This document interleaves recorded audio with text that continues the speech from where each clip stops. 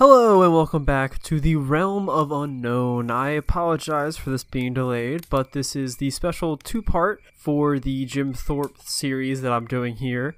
It's still our first two part as long as I can, uh, you know, remember. So today it's going to be definitely shorter than the actual first part because that involved a lot of the backstory and a lot of the history of the town and the region itself. And here, as I mentioned before, it's going to focus a bit more on like a specific family and also like some of the surrounding area of Jim Thorpe and what they sort of established. And they're also the family that we also mentioned before being the founders of the Lehigh Valley Railroad, the sort of rail system that we discussed earlier in the last episode. And I'm just going to get right into it because, again, it's going to be kind of short and I don't really want to ramble on too much like the first part. So, the family in question that we are talking about today is the Packers. In particular, I'm going to be talking about Asa Packer, who first established his family roots within the town and sort of had a lot of ties with the local economy and politics. And in addition, I want to talk about his immediate family and some of their descendants who remained within the town for several decades. So, Asa Packer was a pretty remarkable individual at his time. I believe at his time period, he was one of, if not like in the top 10 for like the richest men on like the globe. Like he was loaded when it comes to money. And this is essentially because he helped establish the Lehigh Coal and Navigation Company, aka the rail systems that we mentioned earlier, while also becoming a very major stockholder within like half a dozen other railroad companies. So he had a very, very firm grasp when it comes to the whole mining industry up here in PA and the surrounding area. In 1842 to 1843, he was also a member of the Pennsylvania House of Representatives. And then the following year, he was the county judge in Carbon County, which is where Jim Thorpe today is. He also served two terms as the Democratic member of the U.S. House of Representatives during this little term beginning in 1853. He even also tried to run for president and also the governor of PA, but ultimately both of those nominations and campaigns sort of weren't too successful and he didn't get anywhere. However, he also helped establish the Lehigh University, which is located down in Bethlehem, PA, which is also within the overall Lehigh Valley area. There's a lot of weird like subdivisions when it comes to the PA area, so I apologize for anyone who's like confused as to where we are. We're still in Jim Thorpe, which is in Carbon County, which is in the Lehigh Valley area. So again, it's confusing. But he did a lot. He did a whole lot of really interesting stuff and played a really major role in again both Jim Thorpe and the overall surrounding Carbon County area. And because of this, you he continues to remain a staple to the you know tourism factor and the educational factor of the area and probably the most prominent aspect of his life and his i guess heritage in a lot of ways uh, comes in the course of two mansions that stand upon the hills within Jim Thorpe and sort of overlook the downtown streets. So there, there again, there are two mansions, as I mentioned. The first being titled the Asa Packer Mansion, and the second being the Harry Packer Mansion. And Harry is one of his sons, and he sort of commissioned it later on. But the Asa Packer Mansion is kind of like the prime golden thing of the town. It is like the centerpiece, it overlooks everything, and it essentially is like where he, Asa, and his family lived and grew up and sort of developed this industry slash town slash region. It's like this crazy thing.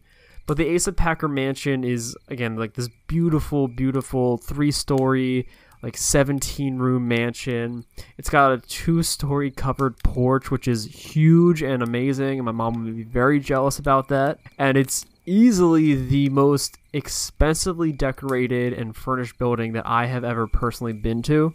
The porch has this elegant, like Italian sort of detail and it includes these sort of like arched values and like weird little curves and all these like awesome little little tiny details which you have to like stay there longer to really appreciate and unfortunately well i guess fortunately for me we had to wait a while for our tour to start, so we got to appreciate this a bit more from the outside. And unfortunately, though, we couldn't have that long of an experience on the inside because they unlock the building and then lock it back up for each tour, so no one can really get in on their own.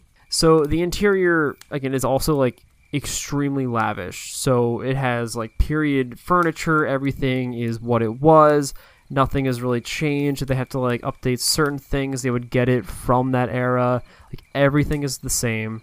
It has the original woodwork there too, which is probably the most incredible aspect that I found on the tour of the mansion.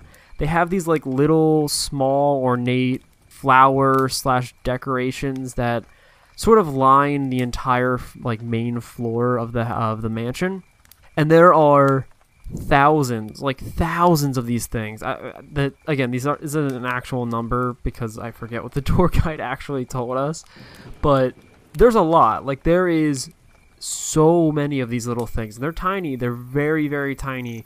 They're probably about the size of like half a golf ball, give or take, and each one of them is hand carved. They're all different types of wood and stuff, and every single one of them has a unique and individual pattern. Just like thousands of patterns, just all individual, all this stuff. And from what I can remember from the tour, I think it was mainly done not I mean, yes, it was done for an aesthetic aspect, but I think also Asa like very much wanted to give back to the like surrounding area and he wanted to make business a very big thing. And from what I can remember, I believe he did this so that more wood craftsmen like had a job and it was an ongoing thing that they can continue to be paid for, which was like amazing. Like apparently he was like a really really great guy. I don't know personally because you know I don't know him. I can only go based off of historical documentations. But for the most part, he seemed like a very genuine person for the region and really wanting to make it something more and continue to give back to it. Because I believe he came from nothing, or he came from like a very not like he was nowhere near his level of rich when when he grew up. Let's just say that. So that was the Asa mansion, and real quick, I want to mention the Harry Packer mansion which unfortunately I was not able to personally walk into and tour and explore and everything. The weekend that I visited, or the weekend that me and the people I went up with uh, visited, they just so happened to be having one of their overnight murder mystery sleepover type events at the mansion, and uh, we couldn't get in, unfortunately. But it's equally as beautiful as the Asa Mansion. It has this very bright uh, red brick as the outside. It has this, like it's beautifully colored. It has a bit more of like an Italian style for the architecture, and it's got its own little bell tower on the part of it, and these little neat stairs that lead up to this incredible side porch area that you can sort of get like they have tables set up for people to have like brunch and stuff on. It's really a amazing. Like it's really special. This one in particular, too, is like a side little fun fact for anyone who may be listening. This particular mansion, the Harry Packer Mansion, this is actually the mansion that inspired the model of the Haunted Mansion that Disney owns. So if you're ever on the Haunted Mansion ride, believe there's one at both Disneyland and Disney World. I could be wrong though, I haven't been to either. If you have been there and you have been on that ride, this is the mansion that they modeled it after. So if you're ever in the area and you want to check it out and you want to go on a murder mystery uh, like extravaganza, definitely check it out. I definitely recommend it, or at the very least walk by because again, it's extremely beautiful and it's definitely a really neat place to just kind of stroll about. So yeah, that's like a brief little rundown of some of the history that with Asa and how he helped sort of establish Jim Thorpe and Carbon County. Now, when it comes to the ghost stories, I'm going to be talking about a few of these locations that I mentioned, uh, along with sort of Asa's other relatives. In addition, I'm going to be talking a bit about another location that's sort of nearby, but has some and it has some connections to the Lehigh Rail Company, as well as you know like Asa and all those. Like it, it just has a lot of history. Everything's kind of connected, and this is the number nine coal mine. So this is actually located outside of Jim Thorpe over in uh, Lansford, PA, which I believe on a map is technically a little south, like southeast, give or take. I, I didn't correlate the two of them. I'm basing this off of our trip, which was a year ago, so bear with me. So we're going to be talking about this uh, after we talk about some of the stuff with Asa and his family. So on to the ghosts. So the very first story that we're going to be talking about is actually about the St. Mark's and John, or excuse me, St. Mark's and St. John's Episcopal Church, which is located in downtown Jim Thorpe. And we're going to be talking about the spirit of Mary Packer Cummings, which is my name.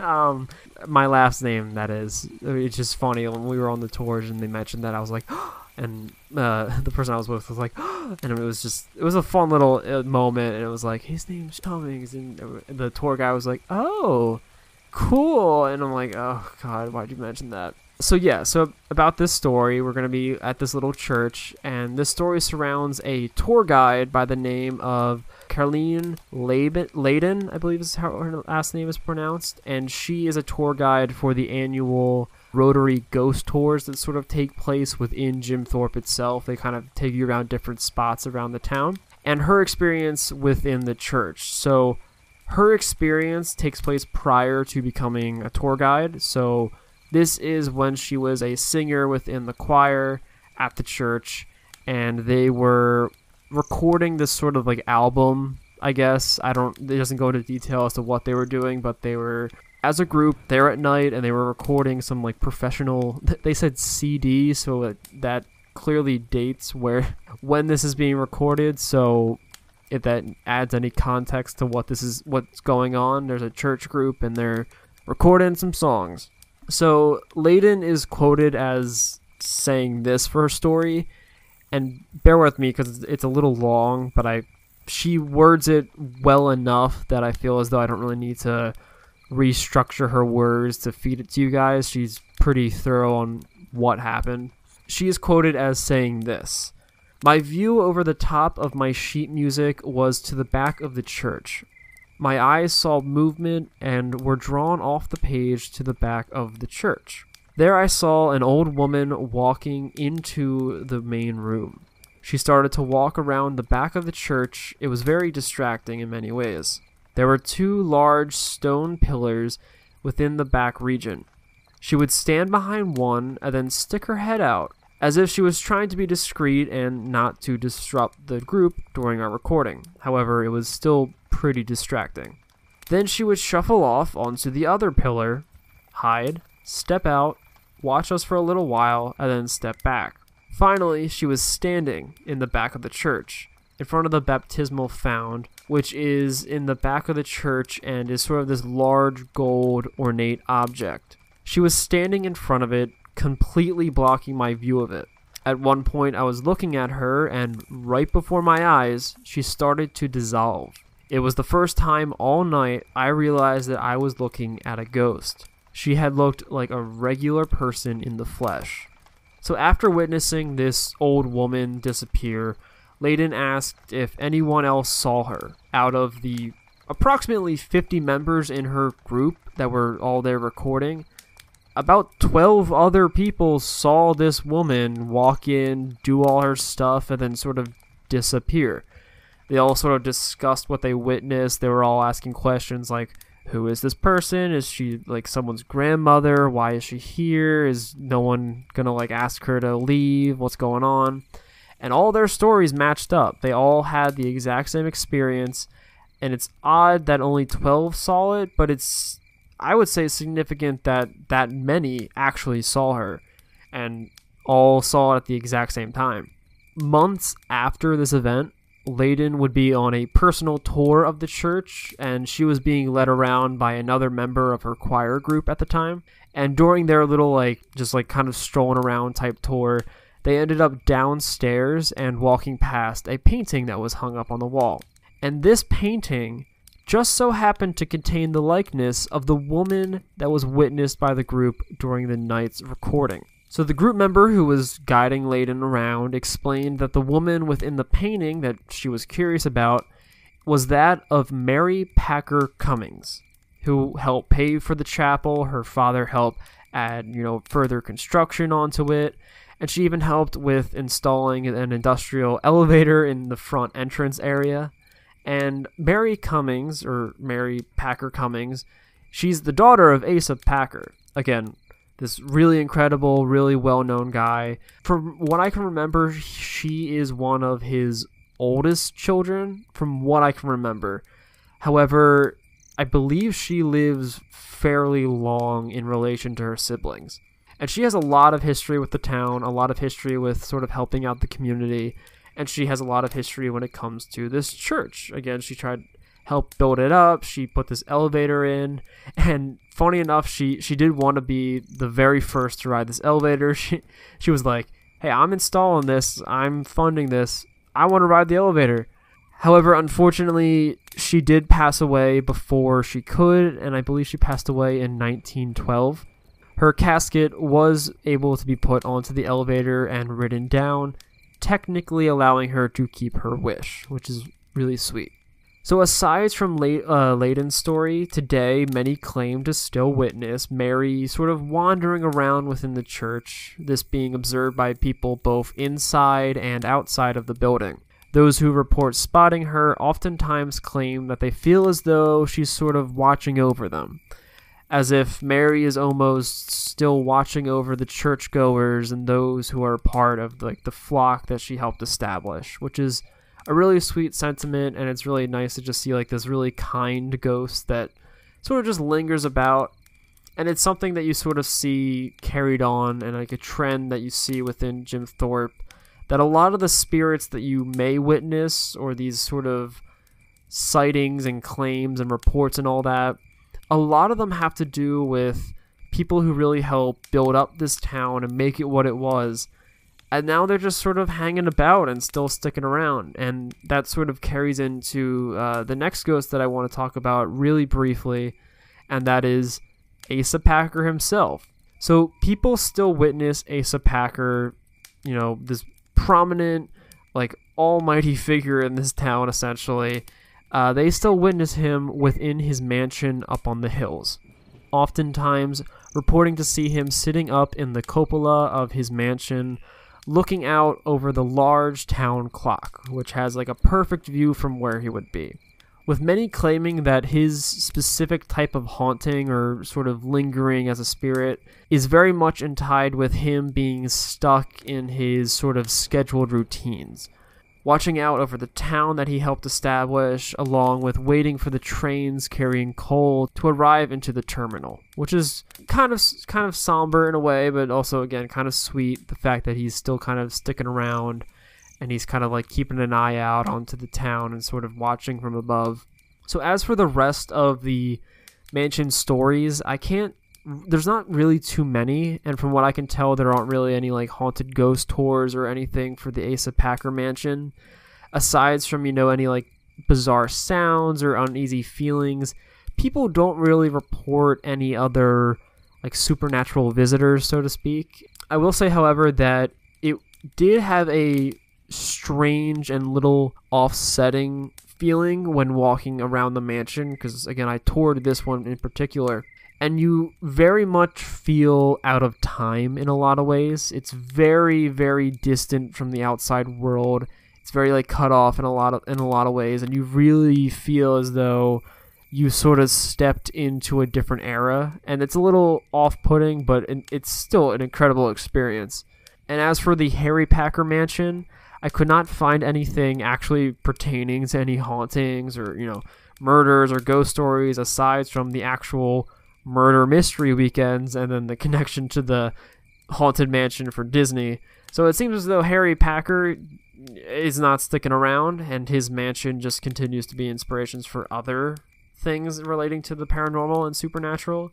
So good on him. I, don't know. Um, but if you are there and you have any weird, you know, experiences or know anyone who had any weird experiences, definitely let me know. I would love to check it out because from what I've could understand people have stuff, but no one seems to be reporting on it, at least that I can find online. I again, I didn't know any of these places were haunted when I was visiting, and unfortunately, I was not able to ask any questions on the matter because I didn't know. and I'm sure a lot of the locals and the people who work there and the people who run all these like museums and stuff probably would have a few answers for me whether or not it's definitive or they just outright tell me no it's not i was not able to ask. So unfortunately i eh, it's not so unfortunate because i really do want to revisit this place. So i guess now i have a reason to go. So wrapping up this this part, this episode, and this overall series, I want to talk about a, another location that I visited during my trip there, which is the number nine coal mine. This place like is insane. I had never visited or been to a coal mine up until this point. The closest thing that I could compare it to was entering Crystal Caves, which is another attraction here at PA.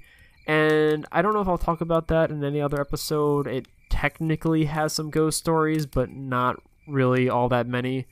But if you are interested, let me know. It's a really neat little tourist attraction in PA in which you can go into this like quartz crystal cave with all these like intense shimmering rocks and stuff like that.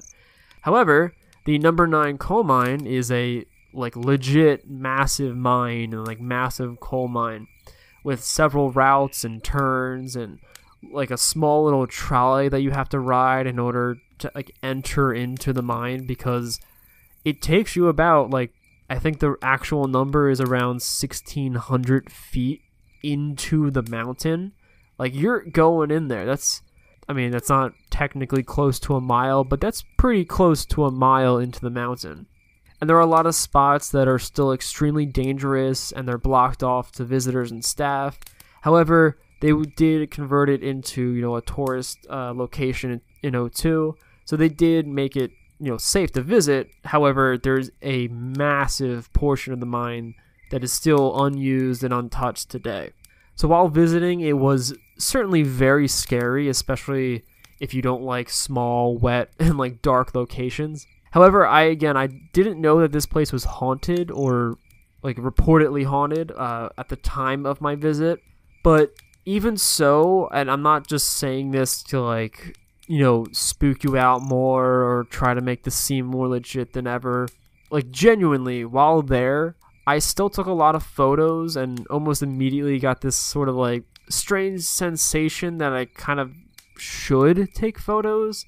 I it was a little like off-putting in a little in a in some ways. Like it, it wasn't so much like the people I was with. It was like just once we got into the location after we got off the little trolley and we got going on to the tour it was just like this real bizarre like i should really like look around a bit more and i don't know why I, again i don't i don't have explanations for why i might feel things at certain spots i just don't i don't know and again i didn't see anything i didn't hear anything um, aside from like another tour guide further on into the mines, which kind of spooked the entire group. But he's like, "Yeah, no, it's just them. They're like 10 minutes ahead of us." However, I didn't technically look over all my photos and videos that I took during this trip, so who knows? I'm going to be posting a lot of them, so if you guys spot anything in the photo, maybe tell me. Part of me doesn't want to know, part of me kind of does, but we'll, we'll leave it at that. But it doesn't mean that, you know, other people have not experienced things in the mines. The museum that we got our tour through, the like the general historical tour, they also host their own ghost tours into the mines during the fall season. And it sort of started it off due to many people believing that the spirits of several generations of coal miners were still lurking about and working deep into the caverns. So during the tours, guests are guided down and shown a lot of like weird things. They're showing the remains of like accident victims within the mines who were not able to be recovered at the time of the incident, along with a lot of like horror stories about how miners were treated, what they had to go through. It, it was not a pleasant place to work. A lot of people died. Several came down with illnesses and injuries while working on the job. They also had to work in complete and utter darkness with only like a single candlelight to guide them through the tunnels, which during our tour they let us experience and I I will say like Crystal Cave was dark when they shut off all the lights. This was so dark. Even with the candlelight being nearby, we were only maybe five feet away from the tour guide who had the light in his hand. It was utter darkness, even with the light. It was insane. I don't know how people worked in that environment. I don't know how that's even functional to make that an environment, but they made it work, and I would never want to do that. The mine also employed a lot of uh, child labor and like minority labor. They also used a lot of mules and donkeys in the mines during the early years, and it was just a really not great thing. And they it added a lot of despair and you know negative energy to the whole environment, which could potentially play some role into the feelings that people get today. People who visit the mines oftentimes report sudden drops of temperature and sort of everlasting coldness when they arrive to certain areas, in particular, when they arrive to the hospital, which is inside the mine itself. So this is a very creepy place. Trust me, I have I have some photos of this and I will be sharing this one in particular. It's this like small little white wall essentially that has like hospital stuff written on top and it's not technically open. You can't go into it really. They sort of have stuff there but it's not accessible to the tour guides or to like the general tours and it's essentially where like the injured and the sick would be brought if they didn't want them to exit the mines or if it was like a much more serious immediate injury that they had to tend to and people suffered and they some died in that spot so it's understandable that this is like the craziest location. But for the most part, people sort of report this coldness to it, this real, real coldness. To put this into perspective, the mine itself remains at like a pretty steady 54 degrees throughout the entire year. Like it's pretty even. It doesn't really dip. It very rarely fluctuates and people are recommended to wear jackets, wear coats. Most people have those on. So if they're still reporting that they're getting bone chillingly cold, goosebumps, and all this stuff, it is much colder in this spot. So what is causing it? I don't know. I maybe it's like a draft, maybe it's a difference in air. I don't know. I'm not a mine expert, but from my experience at that spot, there's nothing evident within the general vicinity that would cause a dip in temperature, and I didn't personally feel it, so I can't account on that actual event happening to me. But I can say that I couldn't find anything, or from what I can remember, I can't notice anything that would cause there to be like an immediate draft or shift in temperature. So who knows? Maybe something's actually happening there. So people also report hearing distant sounds within the mines, including the sounds of footsteps, metal clanging against rocks as though it's like a pickaxe in the distance, the sound of voices in areas in the mine in which people should not be present or there shouldn't be anyone else in the mine. Oftentimes, these are reported by tour guides or other people who work there who know that no one else should be there. In addition, the sensation of unease is often reported. However, uh, as mentioned before, that can sort of simply be chalked up to, you know, you're in a mine. so feeling uneasy is sort of par for the course. I couldn't, however, in, in addition to other stories, I couldn't find anything more like concrete or more extreme in any ways. No one really reported any apparitions or anything to like a higher level. For the most part, it seems as though it's pretty average for when it comes to a coal mine in particular. And this specific coal mine is is actually the longest continuously operated coal mine in the world. It closed down, I believe, in the late 70s, but at that time, it like it held it still holds the title from what I can remember as being like the longest ran coal mine. So it's not too unlikely that you might have a few stories and some you know, bizarre reports of sounds in the distance and odd sensations that people sort of feel uneasy or sick in certain spots of the mine. Because that sort of seems as though that's what happens in these coal mines, especially ones where, you know, a lot of negative feelings and tragedy and despair kind of remain. But yeah, that's it for this story. I again, it was really quick. Uh, I felt as though all these things added together sort of could have been their own episode. However, I wanted to lump it into the Jim Thorpe series as well because I felt this whole environment was like one big experience, an adventure for me, and I kind of wanted to emulate that with these two episodes. And then, you know, the like I mentioned in the last episode, these ones kind of uh I felt as though a 2 hour or plus episode would be too long. Um so I kind of split it down the middle of being around like an hour or so and then being about like an hour or being around like 40 minutes give or take from like by me editing it fully by you know give or take you should probably cut down but yeah i mean so for the most part that's kind of it for this episode um there's not a whole lot more that i really want to talk about if you guys again want to support this you know this in endeavor, this podcast, this brand, I guess, essentially. You can guys can check me out over on the Patreon that we are currently sort of pursuing a bit more uh like hard, but sort of pursuing a bit more than we used to be. And uh, that's Realm of Unknown on Patreon. The links will be in the description for both the actual podcast and then on YouTube if you're listening there. And again, if you want to just really send in your own stories or talk about different topics that you would like to have me discuss in future episodes, then you can send those to me either on Twitter or Instagram at Realm of Unknown or to my email at realmofunknown at gmail.com. So I thank you guys again. Um, I'm not really sure what the next episode will be. I have a list, but I'm kind of going a little bit out of order at the moment. So, you know, bear, bear with me there. And I will see you guys next week. Or by the time this gets out, uh, it should be the next Saturday, give or take. So, yeah. I hope to see you guys then, and I hope you guys had a very, very enjoyable time with the Jim Thorpe series. And remember, until next time, to stay spooky.